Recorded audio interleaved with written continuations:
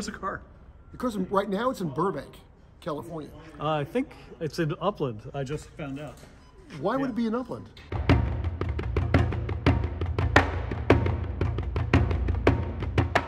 Get yourself ready.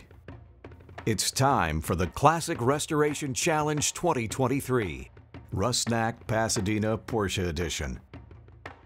Over the coming weeks, you'll be able to watch us going nuts and bolts. Returning this 1968 Porsche 911L back to its original factory specifications.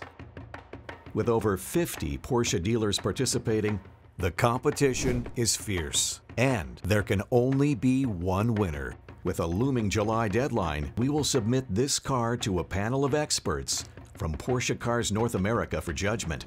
Meet Bill, our classic Porsche technician. Meticulously, he's taking this 911 apart piece by piece. Hundreds of them. Here's David and his crew. Our partner is responsible for all work on body and paint. Our general manager of Rusnak Pasadena Porsche. Here's Moran, the man who has arguably the most to lose.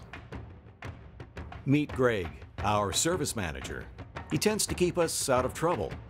And the man responsible for getting us knee deep involved in this challenge. Meet Ron, our parts director. Stay tuned for upcoming episodes on this Rusnak Pasadena Porsche YouTube channel as we strip this 911L down and rebuild it back, just like new, to deliver it like it's 1968 all over again.